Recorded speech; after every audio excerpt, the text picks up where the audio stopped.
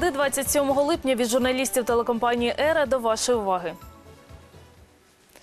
Довгу дорогу таки подолали. Напередодні учасники хресної ходи дісталися Києва для ночівлі. Щоправда, останні півсотні кілометрів пройшли не пішки, а проїхали на автобусах.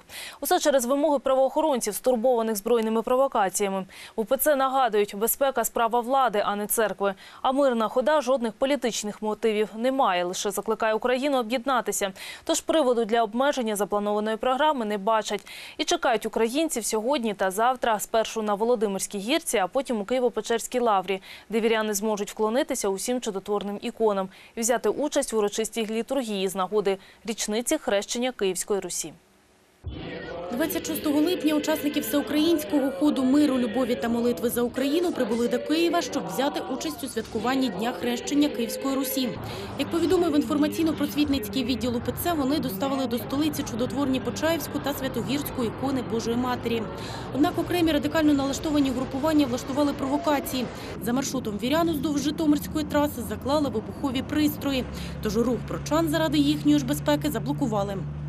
До этого места, куда мы дошли, где вы сейчас находитесь, тут безопасно. Дальше я не могу отвечать, потому что не в полной мере проведены мероприятия поисковые. Сейчас мы их будем продолжать как с кинологами, оперативные сотрудники, взрывотехническая служба.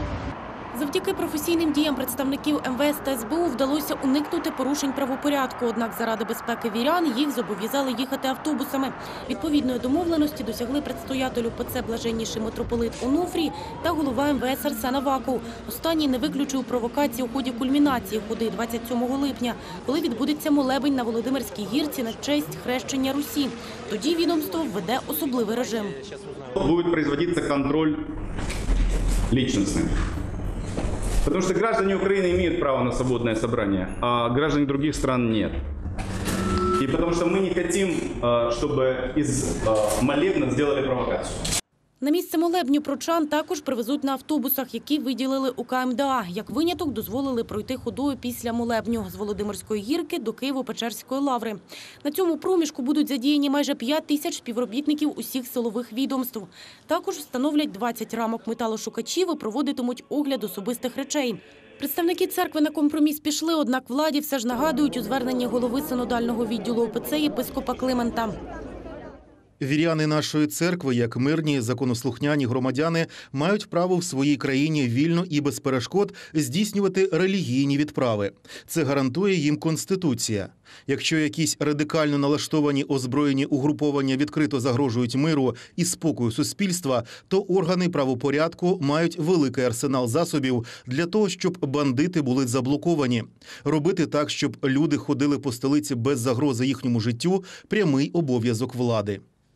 27 липня о 13-й на Володимирській гірці розпочнеться молебень за Україну перед чудотворними іконами з різних регіонів України та Афону. Разом з предстоятелем, єпископами, духовенством та тисячами вірян УПЦ у молебні візьмуть участь гості з помісних церков, монахи афонських монастирів, представники влади та дипломатичного корпусу. А ще кіборги 95-ї аеромобільної бригади, які захищали Донецький аеропорт. Вони теж пройшли ходою миру. Новий рід військ з'явився в українській армії. Йдеться про сили спеціальних операцій. Відповідний закон під час зустрічі із спецпризначенцями підписав президент Петро Порошенко. За його словами, такий крок є важливим в умовах захисту України від агресії. Закон розроблений за стандартами НАТО. Викладені у ньому норми дозволять підвищити стримуючий потенціал збройних сил України, а також припиняти конфлікти на ранній стадії виникнення. Президент зазначив, що на сьогоднішній день в Україні вже створено центр, де готують спецпризначенців. Крім того, Петро Порошенко підписав указ, згідно з яким 29 липня в Україні відзначатимуть День сил спеціальних операцій ЗСУ. Це є вимога часу, сучасної вимоги для того, щоб захист України був набагато більш ефективним. Створений спеціальний центр, створені умови для підготовки, спільні дії і спільні тренування з нашими партнерами Сполучених Штатів Америки, Канади, Британії, Європейського Союзу і багатьох інших держав. Перша увага приділяється силам спеціальних операцій. Залишитися без житла через борги за комуналку в Україні невдовзі може розпочатися хвиля конфіскації квартир і їхній продаж на аукціоні. Восени, коли люди отримують платіжки з захмарними тарифами, кількість боржників зросте, прогнозують експерти.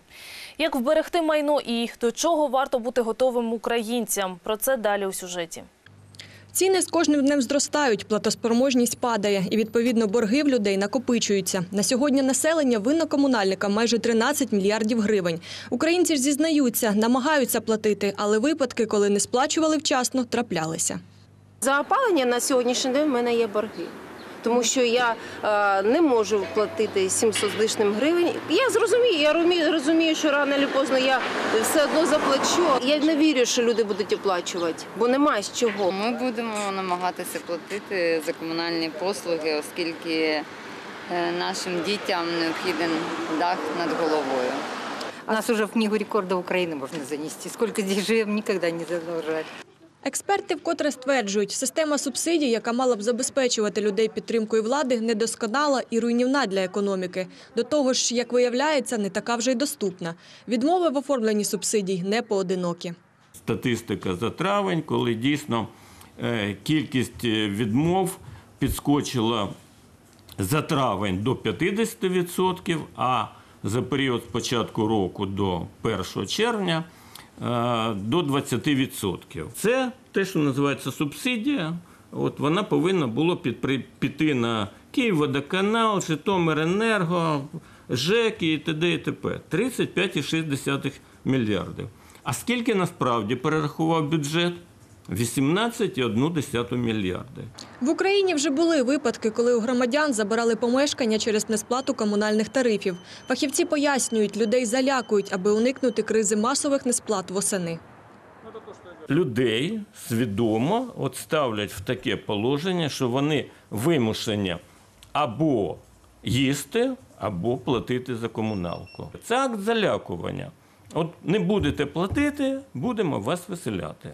Приймається закон про те, що тарифи зростають, що управляючі компанії, тобто створюється силовий механізм. Ну, а далі почнеться перетягування ковдри. Зрозуміло, що е, люди будуть боятися, що їх виселять. Навіть якщо до осені проблему тарифів, низької зарплатні та пенсій не буде вирішено, платити все ж доведеться, наголошують фахівці.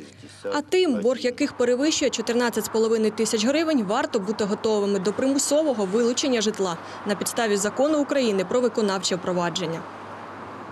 Платите сколько можете, исходя из того, что у вас есть э, конституционное право на достойный уровень жизни. Вот э, именно этот принцип, конституционный принцип э, права на достойный уровень жизни в данном случае и можно будет использовать для судебного спора. Єдиний вихід, щоб спати спокійно, кажуть експерти, вчасно платити. Якщо борг у вас вже сягає десятків тисяч, його можна реструктуризувати, звернувшись до постачальника послуг або навіть до суду. Одинадцятий номер у рейтингу ворогів української преси. Таким сумним здобутком нагородила Національна спілка журналістів України мера міста Глухів Мішеля Терещенка. Нагадаємо, торік скандальний міський голова райцентру розпочав справжній наступ на журналістів комунальної газети Народна трибуна та видання Нідєля. Головного редактора останнього Оксану Коваленко навіть дозволив собі вигнати з мерії під час звичайної наради, відкритої для ЗМІ. Крім того, Терещенко разом із місцевим криміналітетом здійснив спробу захвату народної трибуни та не виплачує журналістам муніципальної газети заробітну платню. За фактами тиску на журналістів проти Мішеля Терещенка вже відкрито кримінальну справу. Втім, правоохоронці під тиском депутатів від провладної фракції не надто поспішають її розслідувати. Аби пришвидшити процес, нещодавно нардеп, що представляє партію «Свобода» Андрій Головко, оформив депутатський запит, в якому вимагає розслідувати бездіяльність глухівських правоохоронних органів у справі розслідування фактів тиску мера Глухова на місцеві ЗМІ. Зв'язатися із нами ви можете за адресою, яку нині бачите на екрані. Вдалого дня, побачимось.